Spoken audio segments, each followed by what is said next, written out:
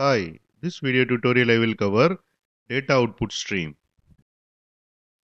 Here you can see the file. Here you can see Java application.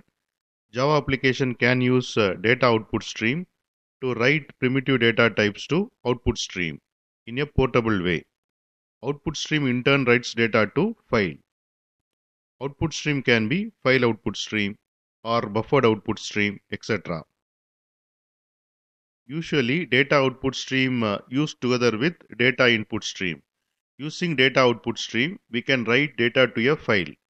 Later, using data input stream, we can read data from a file. Like we discussed, uh, using data output stream, we can write uh, primitive data types like uh, int, long, float, double to a output stream. Data output stream class belongs to java.io package. Superclass of uh, data output stream is filter output stream. Superclass of uh, filter output stream is output stream. Superclass of uh, output stream is object. Data output stream class implements closable, data output, flushable, and uh, auto closable interfaces.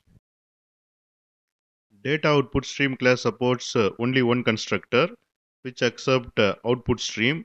Using this constructor, we can create uh, data output stream object. Here you can see the methods uh, supported by data output stream class. Flush, size, write methods, write boolean, write byte, write bytes, write char, write characters, write double, write float, write int, write long, write short, write UTF. Here I have defined the class uh, data output stream demo. It has main method. Inside main method, I have created uh, data output stream demo object. Then I am calling uh, write primitive data method. Inside write primitive data method, I have created data output stream object using data output stream constructor which accept uh, output stream. Output stream I am passing as uh, file output stream. Here I have created file output stream object using file output stream constructor which accept uh, file name. File name is uh, data.bin. Here I am writing uh, primitive data types to data.bin file.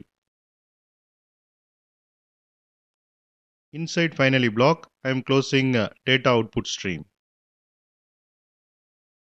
I will run this program and show you the output. Here you can see the output. Successfully written primitive data to data.bin uh, file. I am refreshing this project. Here you can see data.bin uh, file is created. Open with the text editor. Here you can see the content. Now we will see using data input stream how to read this uh, primitive data types from this uh, data.bin file. Here I have defined the class uh, data input stream demo. It has main method. I will run this program, then I will explain. Here you can see the output. Inside main method, I have created data input stream demo object. Then I am calling uh, read primitive data method.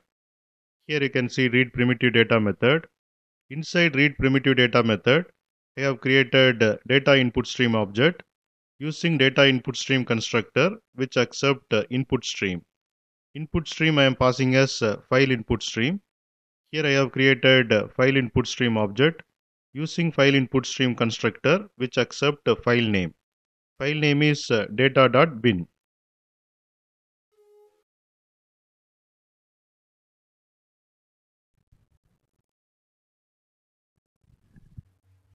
Here using data input stream, I am reading uh, primitive data types from data.bin file and uh, displaying the output.